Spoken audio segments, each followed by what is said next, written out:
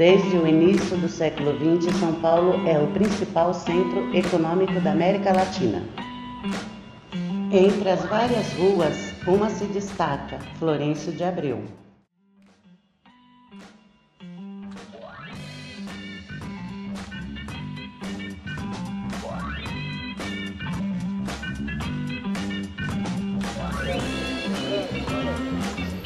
A Florencio de Abreu é uma rua são vários comércios de grandes geradores de resíduos. Né? A rua ela abre de manhã, você olha uma rua toda limpa, organizada. Você já chegou a ver o estado da Florencio de Abreu após o horário de expediente de trabalho das empresas?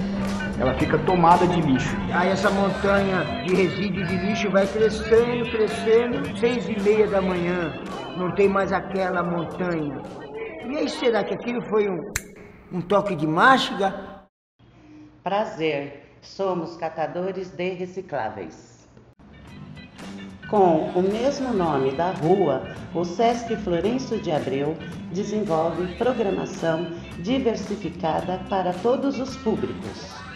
Na área socioeducativa, com o objetivo de refletir sobre a sustentabilidade e o desenvolvimento humano, reuniu catadores e pessoas interessadas em dar visibilidade ao trabalho de cidadãos que sobrevivem dos resíduos descartados pelo comércio local.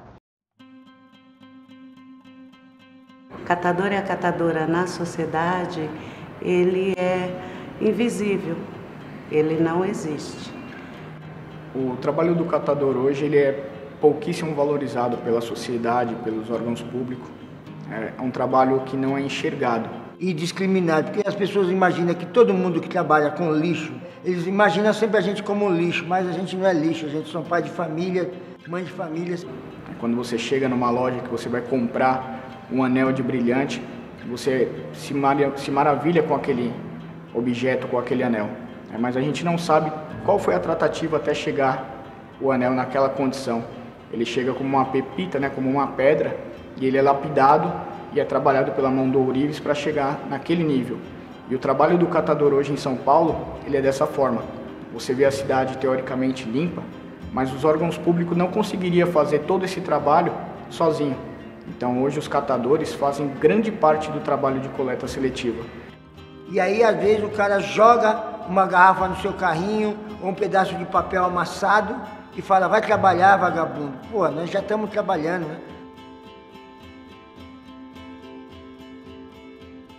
Para mim pegar um aluguelzinho de um quarto baratinho é lá nas quebradas longe. Então a opção é uma, uma segunda opção, tanto de, da reciclagem como de dormir em cima da carroça. Quando ela está cheia, eu tenho minha barraca, eu armo, durmo dentro. Sou uma catadora de material reciclável por opção e amor à profissão. Sou mãe de três filhos e tenho um neto. Eu estou há mais ou menos um ano e pouco na, trabalhando direto na reciclagem, mas eu já tenho essa consciência ambiental, isso são uns 20 anos ou mais, eu já faço separação em casa. Cheguei em São Paulo em 89, morei uma parte do tempo na rua, mas eu acho que quando eu já estava no ventre da minha querida mãe, que eu não conhecia, eu já, acho que já estava catando alguma coisa. Esse é de palha de arroz, papelão de palha de arroz chinês, e esse é o papelão que é normal. É mesmo? Tá? É, é mais amarelado, Olha o né? peso, olha o peso. Palha, o papelão normal de celulose, aqui é de palha de arroz. A gente está trabalhando para um mundo melhor, um mundo mais justo e também trabalhando para poder levar o nosso ganha-pão a cada dia para a nossa família, né? A gente também tem sonhos, né? Para o seu filho ir para uma escola, para o seu filho ter um lápis, uma caneta, né? Para ter um caderno. Porque eu nasci no aterro, não sabia ler nem escrever. Esse trabalho para o catador exige uma dedicação e um tempo dele para está realizando esse trabalho. Então, é justo que seja, toda vez que contratar um catador, é justo que seja remunerado, esse catador seja remunerado por esse trabalho que ele desenvolve. Que tenha consciência que o catador também é um profissional, é um trabalhador. E ele precisa ser remunerado por, pelo trabalho que ele está fazendo. Quando você gera um lixo, o lixo ele é obrigação e responsabilidade sua. E nós, catadores, fazemos essa coleta, pegamos esse material nas portas dos estabelecimentos, dos edifícios, recolhemos esse material, é feito todo um trabalho em cima dele, feito uma limpeza. O material que a gente conhece, a gente leva no lugar para pegar uma moeda.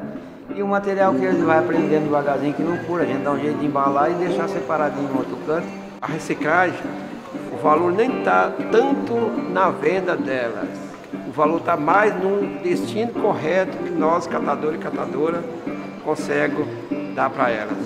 Então você deixa de ver muitas garrafas, vidro, papelão jogado em rios, em praças, em diversos lugares públicos, porque o catador fez aquele trabalho.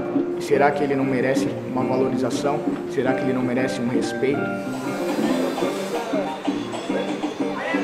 Infelizmente hoje uma grande parte da sociedade não sabe o que é material reciclável, o que não é. Não às vezes que é a invisibilidade do catador, que a gente está ali.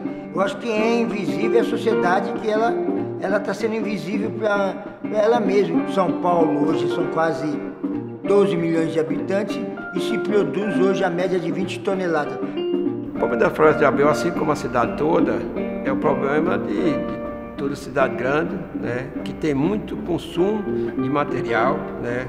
Precisamos de, de uma sociedade mais consciente. Para o mercado mais justo, para uma economia circular, não uma economia linear que só é, foca na questão do consumismo. A gente minimiza o impacto ambiental, a gente preserva o meio ambiente, a gente mexe com a economia do país através do nosso trabalho por que não contratar o catador e a catadora de material reciclável para realizar a coleta seletiva dentro dos seus estabelecimentos, empresas, eventos, restaurantes?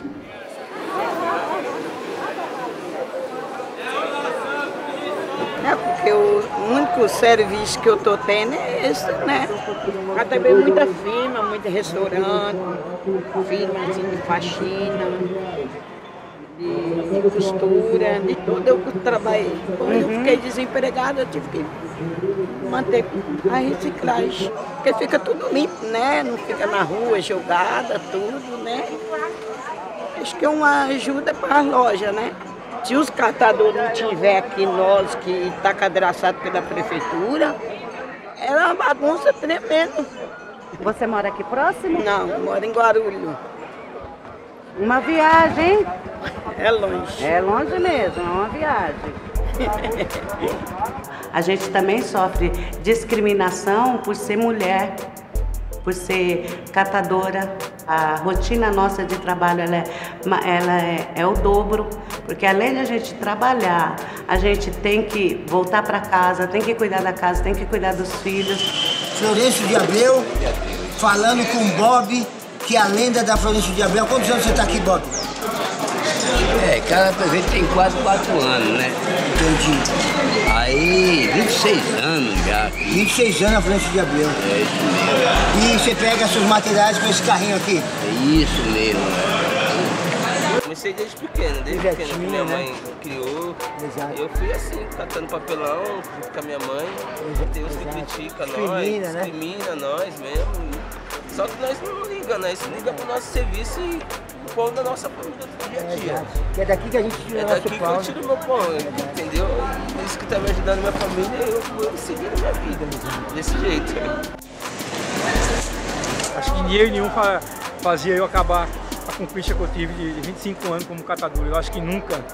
Eu acho que se eu estivesse na cadeira de roda, eu ia abandonar a profissão. Nós era para ter mais espaço para nós poder tra- trabalhar, fazer uma- a, a nossa triagem, mais na- as nossas coletas dos nossos resíduos, de madeira, que nós não tem espaço numa cidade tão grande igual essa, tem muitas madeiras jogadas no- nos aterros, porque nós não reaproveitamos essas madeiras para poder não ter muito desmatamento no nosso Amazônia, porque é muito bom para o planeta. Então, se todos nós fizéssemos um pouquinho, eu garanto nós não, nós não ia ter esse vexame que nós temos. né? Eu sou de outras gerações que, antes de eu ser catador, já tem outras gerações da minha família que foi catador. Desde a década de 40 que nós somos catadores. Quantas gerações já passaram através disso? O que agora que nós temos que acabar?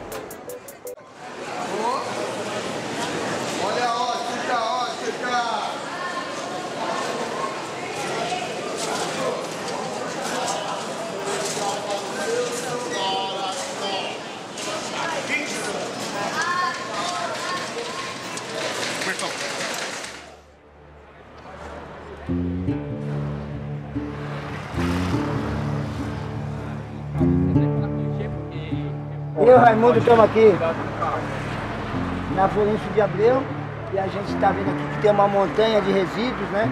De papelão. E a maioria do pessoal não dá valor. É, é um vagabundo, tá pegando papelão ali, é, não é assim? É um trabalho, né? É um trabalho.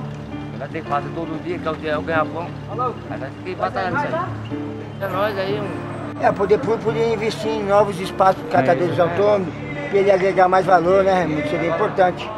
Tem vendo a, vendo a camisa que tá assim escrita aqui? Uniforme, EPI, luva, né? É a profissão. E não só poder público, Raimundo, é as grandes empresas, né? Que é que produz, né? Dá valor menos pra, que a gente trabalha na rua. É isso aí. Menos, menos, menos, um- menos um pouquinho de um valor. É, Não legal. coloca lá em cima, menos. O justo, né? É isso aí. Tô na luta aí. Não posso parar. Se eu parar, ninguém dá emprego. O emprego é esse. Tem que lutar. E tô indo aí. Até com um dia que Deus chegar, vamos, eu tô indo. Enquanto não vai, você fica. É? Lixo não é lixo, catador é profissão. Vai limpando o sampa e educando a nação. Valeu.